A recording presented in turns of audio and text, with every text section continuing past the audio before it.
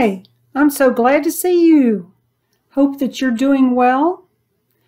This is a very special week.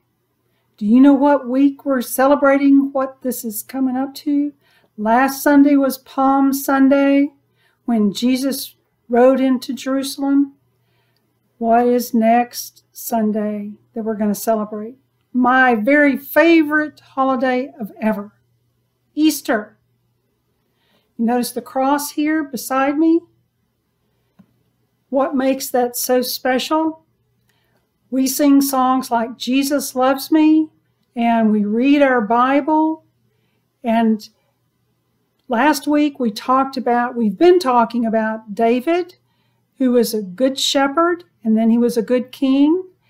The next king was his son Solomon. Solomon did something very good. He asked God for wisdom to know how to act. We can learn how God wants us to act by reading the Bible. Solomon wrote a book in the Bible called Proverbs and Ecclesiastes. And for everything there is a season, but there's always the season of studying God's Word, and there's always the season for giving thanks.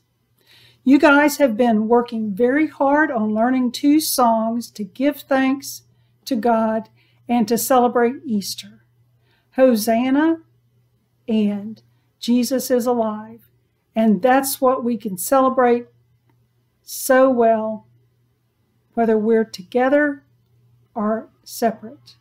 We want to celebrate Jesus because he died on the cross for us to save us from our sins. And we are very thankful. I love you and I can't wait to see you.